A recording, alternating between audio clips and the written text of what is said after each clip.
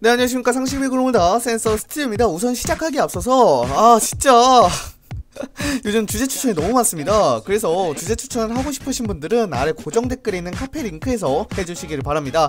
네이버 카페에서 해주세요. 어 진짜 너무 많아. 진짜로. 내가 죽을 때까지 주제 고갈 안 될 것 같아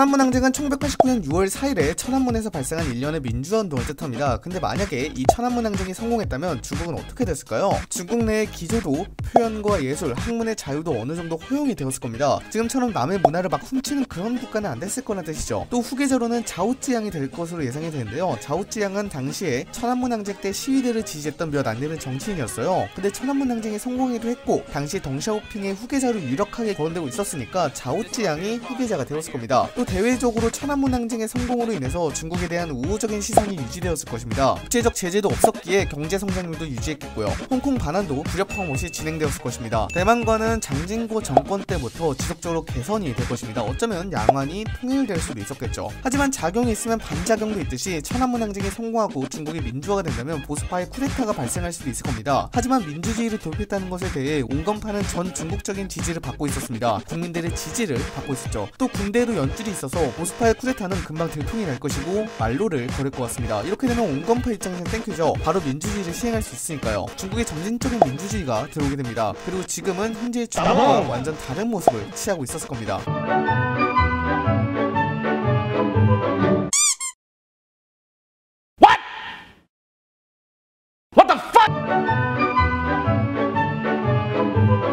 사막은 높은 기온과 태양변만으로 생기는 게 아닙니다. 지형적인 요소가 갖춰져야 하고 해류의 영향을 많이 받아야죠. 심지어 남극과 북극도 사막이니까요. 즉 사막이 있는 이유는 지구의 자전적인 작용이라는 것입니다. 근데 갑자기 사막이 전 지구에 없어졌다는 것은 지구가 자전적인 작용을 멈췄다는 뜻이기도 하죠.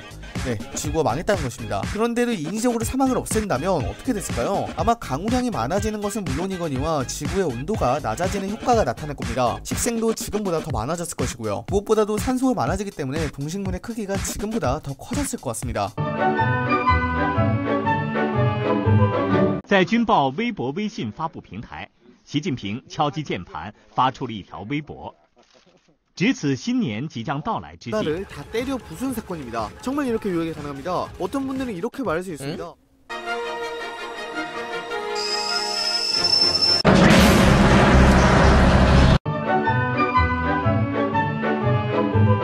아이고 예 후원 감사합니다 폴란드가 독일의 공격을 막았다면 2차 세계대전 역사 자체가 바뀌었을 수도 있습니다. 어쩌면 아돌프 히틀러라는 사람을 우리가 모를 수도 있었겠죠. 체코의 사례를 예시로 들어볼게요. 오스터 음모 사건이라는 사건이 있습니다. 1938년에 독일이 주데테란트를 얻기 위해서 체코슬로바키아와 전쟁을 일으킬 시 군부가 나치 정권을 전복시키려는 쿠데타 계획인데요. 참여자 명단을 보면 독일 군부가 아예 등을 돌렸다는 걸 알 수 있습니다. 하지만 아쉽게도 독일이 주데테란트를 전쟁 없이 얻어서 나치 정권이 전복되진 않았습니다. 근데 이걸 폴란드에도 적용할 수 있을 것 같아요. 독일이 폴란드 침공을 실패로 끝냈다면 분명 독일에는 정통 보수 성향의 장교들이 쿠데타를 일으켰을 겁니다. 그리고 나치 독일은 정권이 전복됐겠죠. 분명 폴란드 침공 실패로 인한 정치적 타격도 컸을 테니 쿠데타가 성공하지 않을까 싶습니다. 네, 뭐라고요? 현실성이 없다고요? 당시 폴란드가 소련하고 독일을 막는 게 더 현실성이 없는 것 같은데요?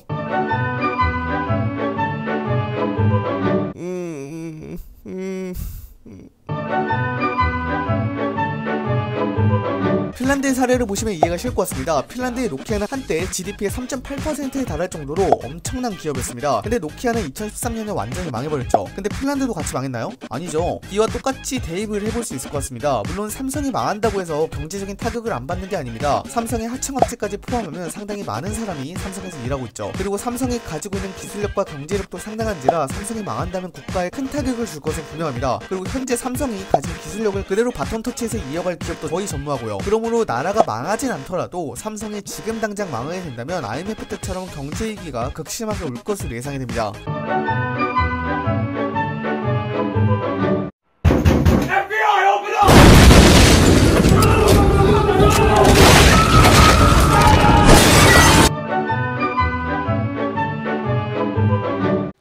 따봉!